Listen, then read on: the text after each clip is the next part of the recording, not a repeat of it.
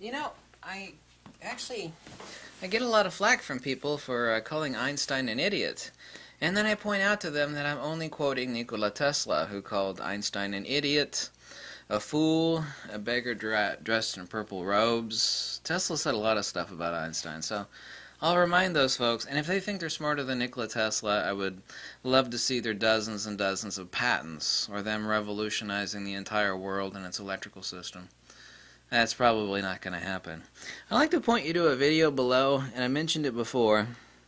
Now, I made a video yesterday, uh, or the day before yesterday, excuse me, pointing out that the guy who invented the word proton was a psychologist with a wackadoodle mind. In other words, he was interested in, in chasing all sorts of uh, like telepathy devices and, you know, really fringe crackpot crap, right? So that's the guy that gave you the uh, term photon.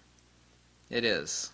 Um, I can actually roll back to his picture here. Yeah, Leonard T. Troland. Here's the uh, knucklehead who gave you the word proton. A psychologist, okay? Not a scientist. Well, psychology is a science. Yeah, not really. It's like a pseudoscience. So this guy was a wackadoodle and gave you the proton. So let's talk about another person that people love. People don't know who Troland was generally. Um, perfect last name for him. Richard Feynman, Tricky Dicky. Richard Feynman, Tricky Dicky. Please look at the video below. He's asked a simple question about what magnetism is. Now, it's okay not to know. But here's the great rub is that uh, people that think they know, but uh, they uh, pretend like they do know, that's an issue. And even worse than that, I'll forward you something that's irrefutable and that is within the deluded minds of uh, stupid humans, and many of those stupid humans are also people with great uh, acclaim, and they've written books, and uh, they have PhDs in some cases. I can guarantee you 100% that people that think they know the answers, they don't go looking for the answers to things they think they know the answer to already. You know, if you think you know the answer to 2 plus 2 equals 4, right? Well, which of course it is for, right? You, don't go looking for the answer to that problem, do you? You already know what the answer is. The answer is 4. The same is true of the rest of humanity. If you're fed bullshit and you believe that's the case, you don't go looking for the answer to something you think you know already. So look at the video and see if uh, Richard Feynman answers the question about what magnetism is. A British interviewer and old Feynman wiggles in his chair and he puts his hand on his head. Then he makes an analogy of about uh, some old woman slipping on the ice. He just twitches and wiggles like a worm on a hot plate. Quantum physics is a religion of bumping particles. I call it RPB, the religion of bumping particles. You ever watch a Star Trek episode? You know, it's like everything's like uh, we have uh, tachyon particles, time particles, and all these magical particles that are bumping into each other. And the answer to any problem in Star Trek was like a an anti-particle or some magic uh, mystical particle. this is atomism. It's pure materialism. Everything in the world, in the universe, by the way, is fields, and fields are not particles. You cannot quantize a field, for example.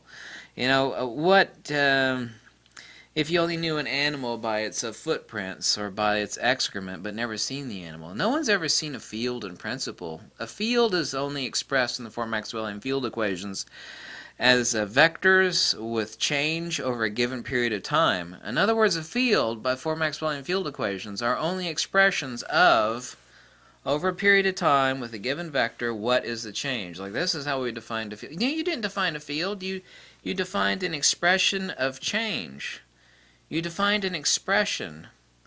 We got point A here, point B here, and the time that it took, and the vector track that it took to go from here to here with X amount of magnitude over that given vector and given time period. That doesn't tell you what this is. It's like, well, this moved over here to here, and it exerted X amount of force on this when it ran into that. You know, we've defined it. No, You've defined things with changes over vectors and time. That doesn't tell you what a field is. So please watch the video from Richard Feynman. This guy is the god figurehead within quantum mechanics. I call quantum mechanics mushroom physics. Why is it mushroom physics?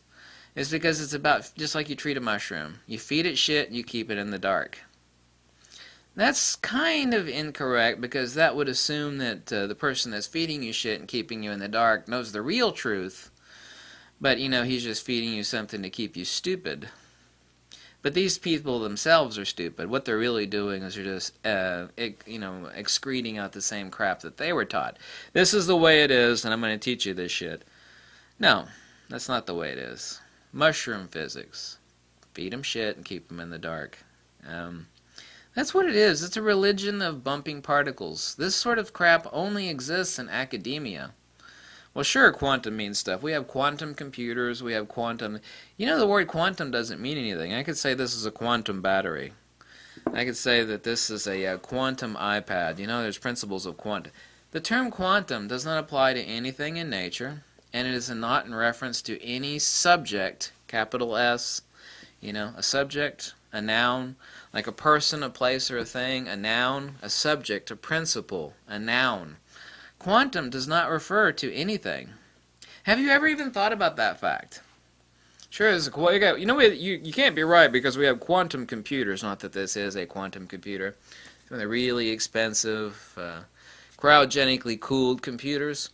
No, you know, since I used to build computers, and I know quantum computers are uh, what they call quantum computers are infinitely more complicated. I know for a fact that it, what exists inside there are circuit boards electrical impulses, resistors, capacitors, uh, memory banks. the term quantum, please understand this, the term quantum does not refer to a noun, a principle, or a subject. There is nothing that is existentially and objectively so quantum. Here's a quantum battery, you know. It runs off a lithium hydroxide uh, combination, and there's a quantum flux that energizes it, and it has a really long battery life. I can imagine a battery from the future, right? It's a quantum battery, folks. Really. Point to me to the part in this battery that's quantum. Point me to any part inside the quantum computer that is a quantum. The term quantum is a concept reified by academia which has absolutely no existence whatsoever. There is no such thing as a quantum anything. Quantum X. Go find me that X. Well, quantum computer, quantum battery, quantum tunneling, quantum effect. These things don't exist. I could call anything quantum. When I sleep, I have quantum uh, I have uh, quantum visualizations. Oh, you mean dreams, right? Is that what you're saying? Yes, those are quantum effects of consciousness. No, that shit is uh, electrical impulses going on in your your cranium inside that jello lump called your brain. That's not quantum. Any- See, they ascribe anything and everything that's really obscure and obtuse. That's quantum. No, it's not.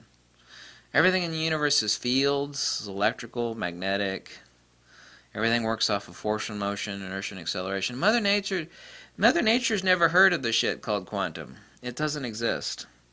These people are atomists, first and foremost. You know, if you don't know what an atomist is, or atomism is, you need to look it the hell up. The Greeks destroyed atomism thousands of years ago, but as atomism has raised its ugly head again, Atomism. Go find out what the hell the word atomism means, because a lot of you probably don't know what it means. It's materialism. It's a little bit more complex than that, but it's atomism. It's literally RPB, a religion of bumping particles. That's all. That's what it is. What does the word quantum mean? Quantum, quantity, i.e., phenomena, i.e., materialism. Quantum is, by definition, the word atomism, materialism. Do you understand that? Quantum, quantity, materialism, phenomena, i.e., atomism. It literally is a religion of atomism. Everything is. These people, in their own books, talk about virtual photons. They, they literally believe and state outright in their own books that uh, what's going on. It's like what's happening. Uh, you know, uh, the flow from one side of a magnet to the other. Oh, it's virtual particles. Really? Have you ever observed these things or virtually? Yeah, no, we haven't, no. But it makes the math balance out when we do equations. Really? This is what Tesla meant by thinking deeply yet being insane. That's Nikola Tesla's direct quote. There are those that think deeply yet are quite insane. This isn't my idea. These are these idiots' own words. Virtual photons, virtual particles. Virtual. Why don't I just stick in the word unicorn and leprechaun? You know uh, what's happening on a magnet? Oh, these little miniature leprechauns are going from one side to the other. Oh, really? Yeah, okay, that sounds plausible. We've got the math to prove it. You know? Sure, you do. Okay. Once again, have you ever seen or actually had the output of any experiment being a virtual? But no, we never have. We've never actually witnessed a virtual. So, so your entire science is uh, built upon something that uh, no asshole on earth has ever observed in any experiment ever. Yeah, that's right. That's exactly right. Wow, that seems very, very plausible, intelligent, and a very wise uh, conviction. No, it's not. It's not. Mushroom physics, folks. That is what quantum mechanics is. Mushroom physics. Feed you shit and keep you in the dark. Why, he's got a PhD. I mean, you're just a fucking idiot compared to that guy. I mean, look at him balance out those equations. Yeah, part of his equations are virtual particles, which are not the input or output of any experiment ever done in history, ever. They are phantasms. They are pure reified concepts. You know what a reified concept is? It's like teaching little kids that Santa Claus exists, and then they grow up and like Christmas Eve they keep think keep thinking they're hearing Santa Claus in the basement. It's like that must be Santa Claus. Like no, it's mom and pop dropping the presents under the tree a reified concept. Welcome to quantum mechanics. Please see the video from Feynman below. If you don't watch this video below that I give you a link to, and immediately realize that this guy, who is the cult figurehead of quantum mechanics, but this guy, if you insult him to his followers, he's dead now they just it's like you have uh, you know it's like you're a satanist and you just walked into church and you just told everybody to start worshiping the devil. They get insanely angry. This is the religious figurehead of this movement of quantum mechanics. Watch the video. If you don't immediately think instantly like this guy's a moron then you might need to re-examine what you understand about things or at least how to critically analyze you know something that you watch or see or read Please see the video below and take a look at the cult figurehead of quantum mechanics try to explain magnetism. Watch him not only fail, but fail miserably to a degree that is almost unimaginable. Thank you so much for watching. Bye.